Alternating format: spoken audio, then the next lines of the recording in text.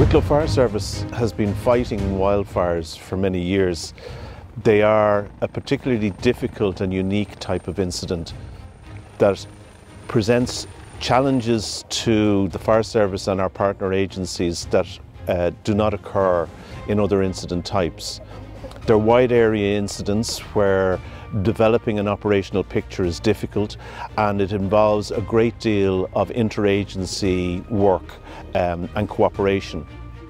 The Air Corps has been engaged in helicopter firefighting for a number of years um, and over that time we've identified a number of inefficiencies in our command, control and communication and also areas in which we can improve safety and effectiveness of our helicopter firefighting capability. So we posed the Defence Innovation Challenge to improve our safety, efficiency and effectiveness of helicopter firefighting and Maynooth stood up to that challenge with the co-pilot AI system.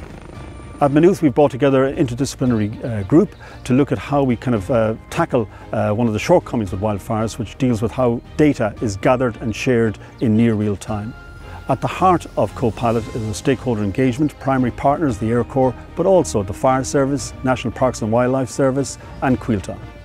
So the challenge of wildfires really centres around three key pillars, societal impacts, environmental impacts and your economic impacts. Increasingly over the, the, last number of years, the environmental impact of wildfires is coming to the fore. The loss of species and the loss of habitat, coupled with the uh, emission of CO2, towards the end is really the economic impacts of wildfires and the cost associated with them, the cost of suppressing them, the cost of deploying these various different technologies and responders. And to try and do that effectively is what we're trying to achieve with this co-pilot web app. So one of the exciting technologies that we're looking at as part of the Copilot AI project is the use of drones and advanced imaging devices in order to collect real-time data from an incident as it occurs and feed that back to the on-site incident response unit. So this creates a particular challenge in the sense that we end up with a deluge of data which has to be fed back to the likes of the fire chief in real time. So in order to assist the fire chief in doing that and to reduce the cognitive load that that produces, we're using artificial intelligence and machine learning technology where we automatically ingest that data into our system, we analyse it, process it, interpret it and then summarise it and present it back to the fire chief in a very uh, user-friendly way that allows them to identify the most important points within the environment and take actions on uh, that information as it comes in.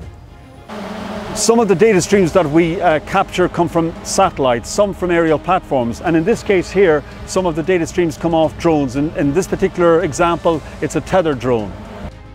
This project has presented to us for the first time uh, a view of what could be available in the future and to be able to get that information on the ground between units that are spread over a wide area and back to, to headquarters will um, improve both the health and safety of our firefighters, the public and the environment, but also uh, our effectiveness at extinguishing the fires more quickly and thereby protecting the environment from the uh, uh unfortunate effects of wildland fires.